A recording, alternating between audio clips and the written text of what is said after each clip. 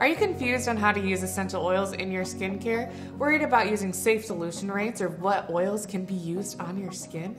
Let's make this pore clarifying face mask so you can use essential oils and natural ingredients to make your skin radiant. With this recipe, you'll go from dull, tired skin to radiant, beautiful skin using natural ingredients. Hi, I'm Katie, certified aromatherapist and co-founder of Simply Earth, and I love teaching people how to use essential oils. Turn off distractions, making is healing. Let's get ready to get started. Here's what you need to make this recipe. I'm first gonna grab my recipe card for my pore clarifying face mask recipe and labels. I'm going to be using a half tablespoon of rose kaolin clay, about a teaspoon of witch hazel. For my big bonus box, I'll be using a half teaspoon of almond oil, and I'll also be using one drop of lemon eucalyptus. Let's make it. First, I'm going to add a half teaspoon of almond oil to a bowl to dilute my essential oil.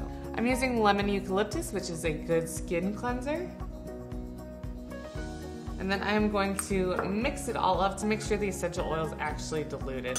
If you miss this step, the essential oil might not get actually diluted or get mixed in with other ingredients, which then will can be irritating to your face. I'm now going to be adding a half tablespoon of clay.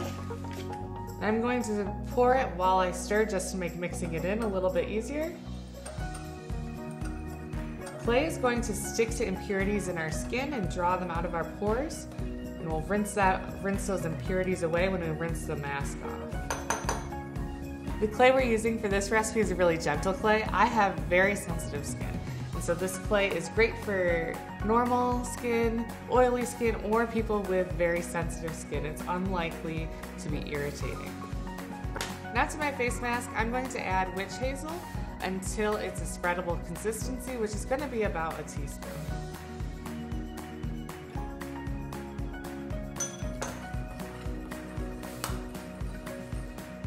Want to mix it together till it's nice and smooth, and then it's ready to be used.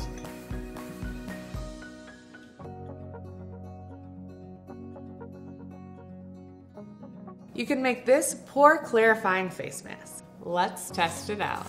To use it, just apply it to your face let it sit there for about 10 to 15 minutes, then rinse it away with warm water. I love how gentle this face mask is. It's great for my sensitive skin and how radiant my skin looks after I use it.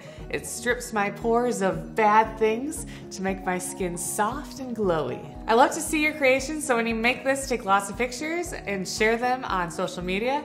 Tag from Simply Earth and use hashtag I made this. The Simply Earth Essential Oil Recipe Box makes it so easy to make natural recipes. Subscribe to the box and make your natural recipes today.